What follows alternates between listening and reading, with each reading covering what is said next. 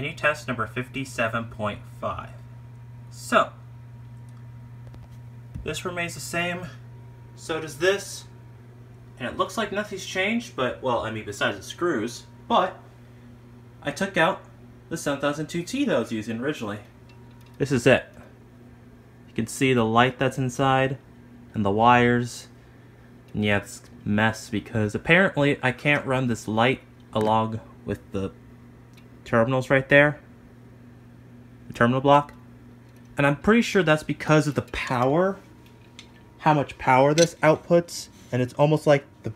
I don't know. Just some issue. So... Um...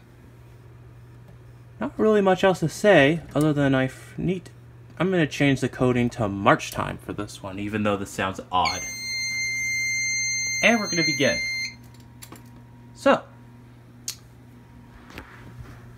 forgot to turn up the fan.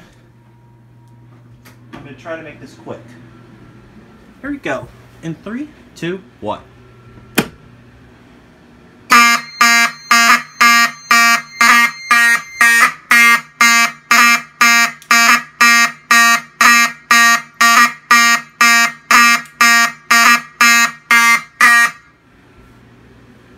That is very loud.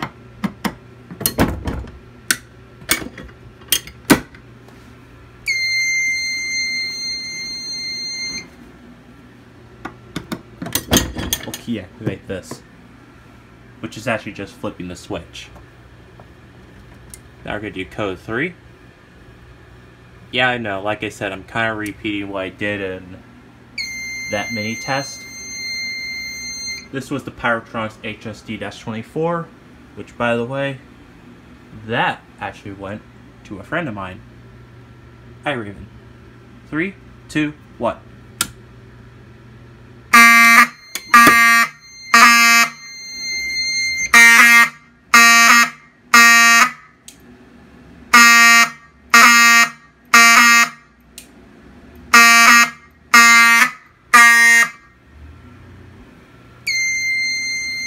Okay.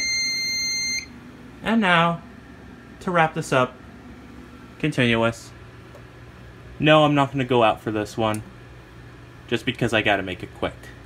I apologize. And no, not California code. California code is just like continuous, just annoying.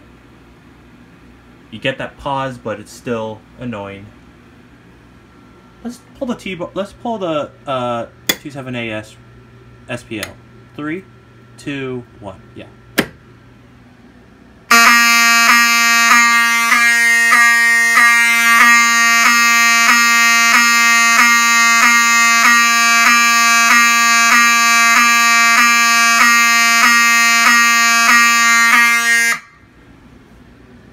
Aye.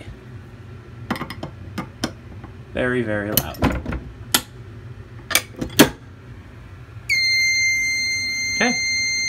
I'll consider that the final reset. And that concludes it for mini test number 37.5. Let's turn down the fan. Hope you guys enjoyed. For the devices we had, well, the same from the last mini test, 57. 2708-SPO, WST-24, and my Wheelock 7002T on the SFP-R trim plate. This 7002T was made in 1986. So was this one. 1992. Yeah, I know there's a little bit of an age gap. And 1989. So, again, thanks for watching.